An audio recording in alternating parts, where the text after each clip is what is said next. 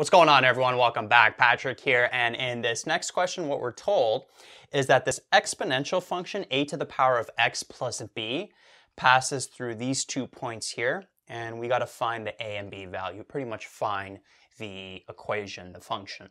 So what we want to do in this case is create two equations if possible because we have two unknowns. So notice that we're told first off that f of x equals a to the x plus b. So using this first point, we're told that f of 1 equals negative 2. At an x value 1, the y value is negative 2.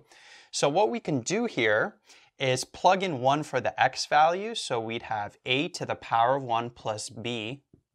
That has to equal negative 2. And this a to the power of 1 we can just write as a plus b equals negative 2. So that's one equation right there. Now the other equation, we would use this other point. So we're told f of 2 is equal to 4. So in this case, we would plug in 2 for the x. So we'd have a to the power of 2 plus b is equal to 4.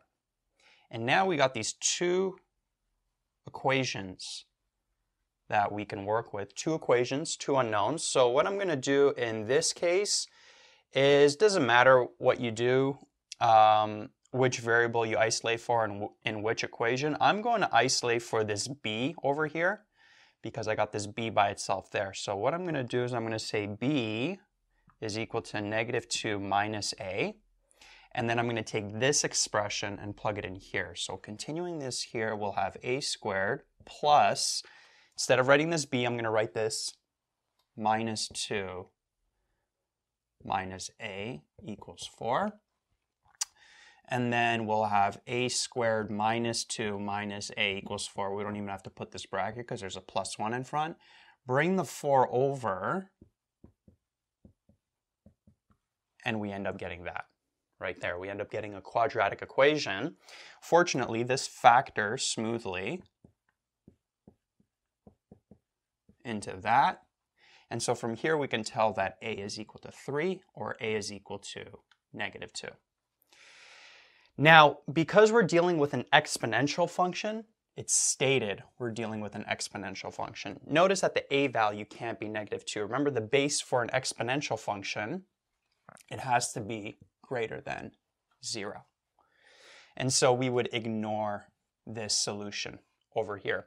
Even though if this wasn't stated, okay, and we are just dealing with some kind of abstract function or relation, then we can include this.